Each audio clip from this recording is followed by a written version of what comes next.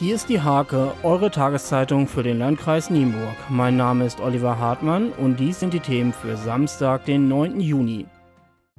Der A-Trakt der berufsbildenden Schulen in Nienburg wird abgerissen und an selber Stelle neu gebaut.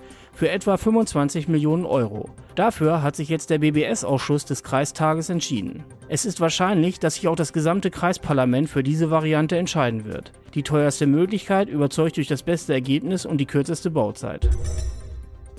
Landwirtschaftsministerin Barbara Otte-Kienast hat sich am Freitag mit über 100 Teilnehmern zu einem Netzwerktreffen zum Thema Ernährung im Blattpavillon der Nieburger Deuler getroffen. Ziel ist der Aufbau eines Zentrums für Ernährung und Hauswirtschaft, das das Landwirtschaftsministerium in 2019 eröffnen möchte.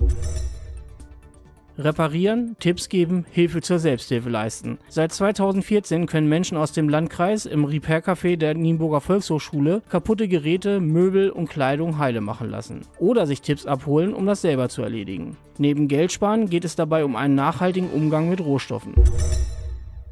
Am Donnerstagabend ist es in der Schweringer Kreuzkirche zu einem kontroversen Austausch zum Umgang mit der Hakenkreuzglocke gekommen. 80 Menschen aus der Gemeinde waren gekommen, um sich vom Kirchenkreisvorstand Nienburg die Begründung für das Abhängen der Glocke erläutern zu lassen.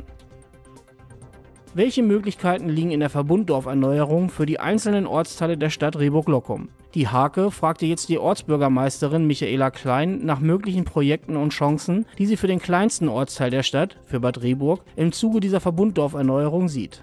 Die Promenaden stehen bei ihr ganz oben auf der Wunschliste der Fertigstellungsziele. Zum Sport.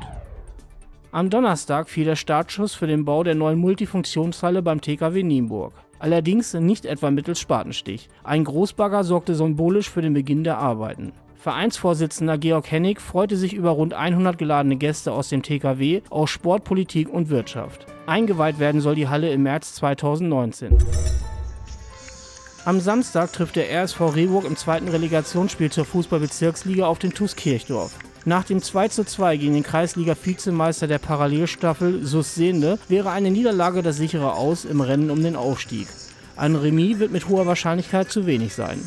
Anpfiff ist am Samstag um 16 Uhr in Kirchdorf. Sehende spielt am Dienstag gegen den TuS Kirchdorf. Diese und viele weitere Themen lest ihr in der Hake am Samstag oder unter www.diehake.de. Diese Nachrichten sind urheberrechtlich geschützt und dürfen nur unter Quellenangabe die Hake weiterverbreitet werden.